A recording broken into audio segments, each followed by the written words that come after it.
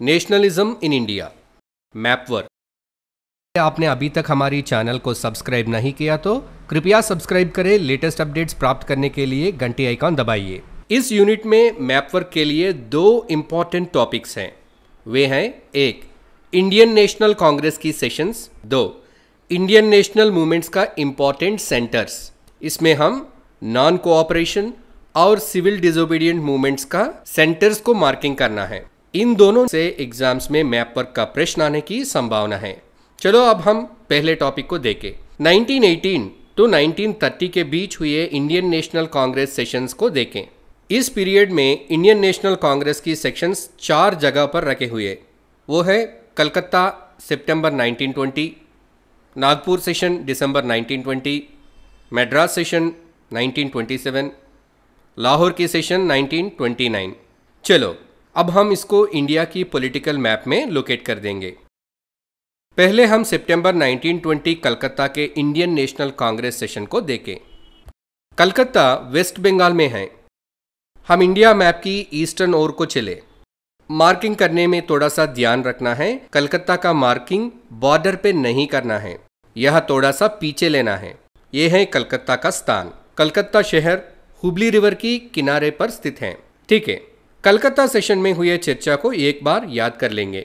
Calcutta session में महात्मा गांधी ने हिंदू और मुस्लिम दोनों नेताओं को एक बात पर राज़ी कर लिया।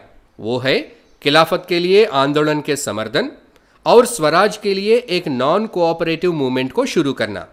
नेक्स्ट हम नागपुर को लोकेट करेंगे। ये महाराष्ट्र में है। ये महाराष्ट्र की लेफ़्ट कॉर्नर में मध्य प्रदेश और छत्तीसगढ़ की कॉर्नर में है। आपको मालूम है, नागपुर सेशन में क्या हुआ। नागपुर सेशन में बहुत सारे लोग नॉन कोऑपरेशन मूवमेंट पर डाउटफुल थे। आखिरकार नागपुर सेशन में नॉन कोऑपरेशन मूवमेंट का समझौता हुआ। चलो, अब हम मद्रास को लोकेट करेंगे। मद्रास, इंडिया की दक्षिण भाग में ईस्ट कोस्टल बॉर्डर पर स्थित है। ये है मद्रास का लोकेशन चलो, इस सेशन में हुए गए चर्चाओं को एक बार रिकॉल करेंगे। 1927 मद्रास सेशन पे साइमन कमीशन की बॉयकट के लिए एक रेजोल्यूशन पास किया जाया था।